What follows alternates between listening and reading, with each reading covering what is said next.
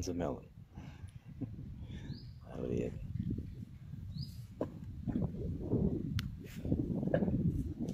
The melons are more of a challenge to get out of the tire.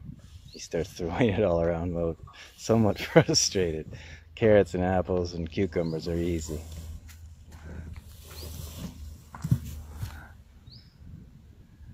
Guys are putting up uh, uh, four cameras on the four corners of the shelter so we can see them all day, 24 hours.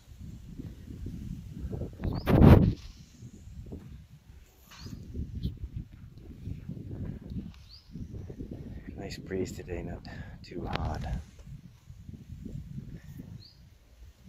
And he's full and sleepy. Sleepy eyes.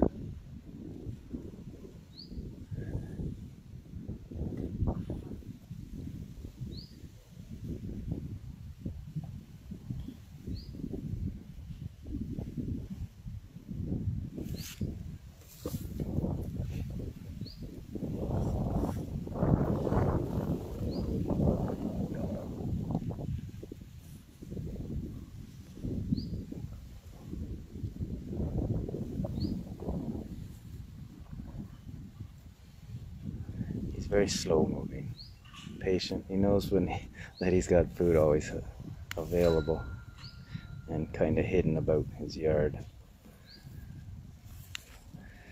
Makes things interesting for a while while he's here in this space till we move him to his big space.